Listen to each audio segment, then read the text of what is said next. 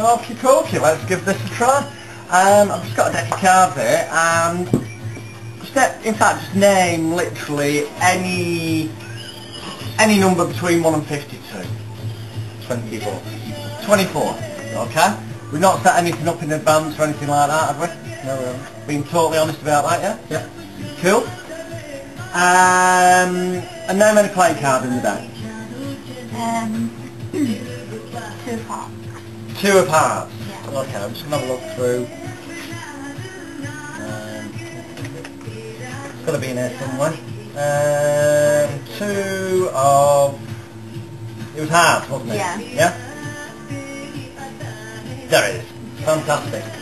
Now one thing I didn't tell you is that before this trip began I did something very special to these cards. I marked each and every one of them, but in a manner that's actually quite, becomes quite clear and obvious to you when you look at it.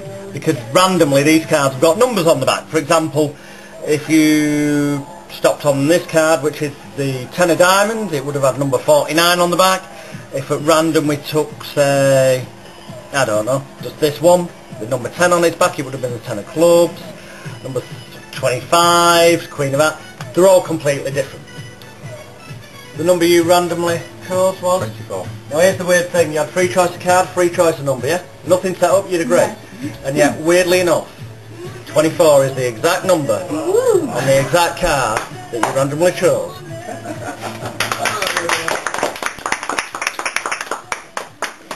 Yeah.